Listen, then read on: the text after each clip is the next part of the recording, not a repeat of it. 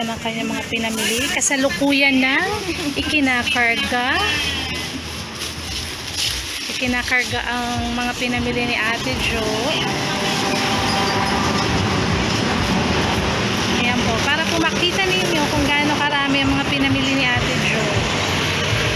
Diba? Siya po ay talaga namang certified suki.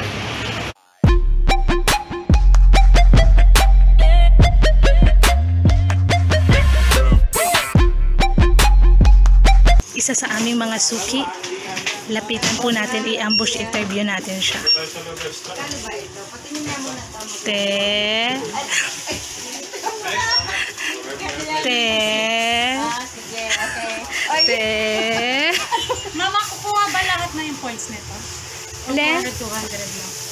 By hundreds, by hundreds ang denomination. Ayan po, gusto mag-redeem ng points ng aming suking sa Ate Jo.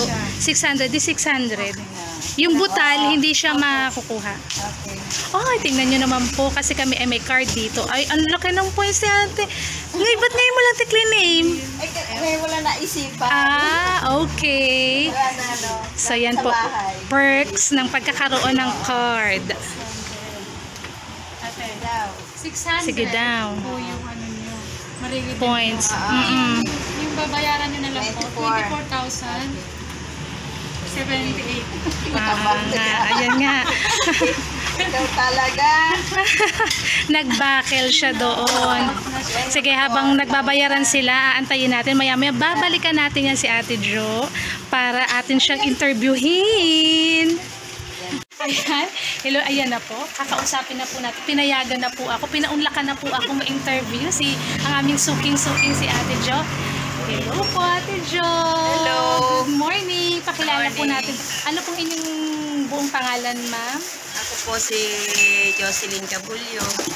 Ilang- Taga-Adlas po. Taga-Adlas. Ilang taon na po kayong nagtitinda? Ah, may 13 years na. Oh, tagal na. No po. Ah, ang inyo pong panimulang puhunan, magkano? Ano yon? Nag-umpisa po kami sa 7,000. 7,000.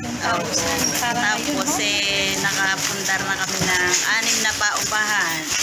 Sa 7,000. From Sari Tapos tatlong pinag-aaral kong anak. Yun. Oo. Oh, ang galing-galing naman. Ma'am. Di po ba nakakain, nakakabilib?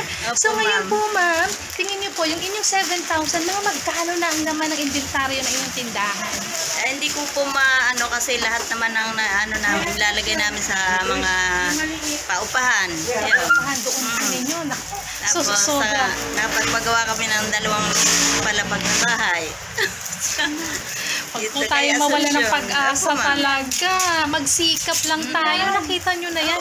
Sari-sari store lang po Oo, yan. sipag at tiyaga lang kailangan. Kasi kung hindi ka masipag, eh, rin. Opo. Ang inyo pong tindahan na ng oras nagbubukas? Ano po, mga minsan alas 5, minsan alas 4 na madaling araw, hanggang alas 10 ng gabi yun. Hanggang alas 10 ng gabi. Sino po ang katulong nyo sa inyong tindahan? Kami lang mag-asawa, Kayo lang ma'am. po mag-asawa. So, full time na po ninyo inaasikaso ang inyong negosyo. Hindi na siya, hindi ko na siya pinagtrabaho.